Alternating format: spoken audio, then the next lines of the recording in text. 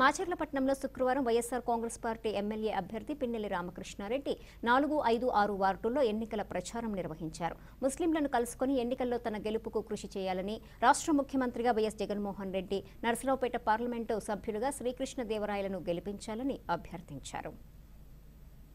ముస్లిం మిత్రులందరూ కూడా కలుసుకొని ఎంతో నమ్మకంతో నన్ను వరుసగా మూడు సార్లు గెలిపించిన ముస్లిం సోదరులకు ఒకసారి కృతజ్ఞతలు నాలుగోసారి వాళ్ళ సహాయ సహకారం కావాలని అడగాలని వాళ్ళ మద్దతు కోసం ఈరోజు మసీద్ దగ్గర రావడం జరిగింది. అందరినీ కూడా కలుసుకోవడం ఎందుకంటే గత ఐదు సంవత్సరాల నుంచి కూడా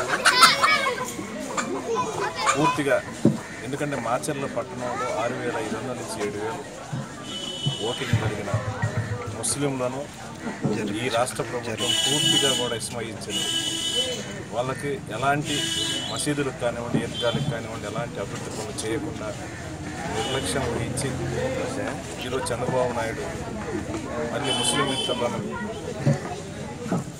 మాయ చేయడానికి ఒక ప్రయత్నం చేస్తారు. ఎందుకంటే మాచర్ల పట్టణంలోనే ఇంత జనాభా ఉంటే ఎప్పుడో వంద సంవత్సరాల క్రితం కట్టుకున్న ఈద్గా శిథిలావస్థకు ఉంటే ఈ ఐదు సంవత్సరం అధికారంలో ఉండి కూడా దాని రిపేర్కి రూపాయి కూడా ఇవ్వకుండా బరువు వచ్చి చచ్చిపోతున్నారు వాళ్ళందరినీ కూడా పూర్తి స్థాయిలో పక్కన పెట్టిన పరిస్థితుల్లో నేను నా సొంత డబ్బులతో ముప్పై రెండు లక్షలు కూడా కట్టించి ముస్లిం ఇవ్వడం జరిగింది.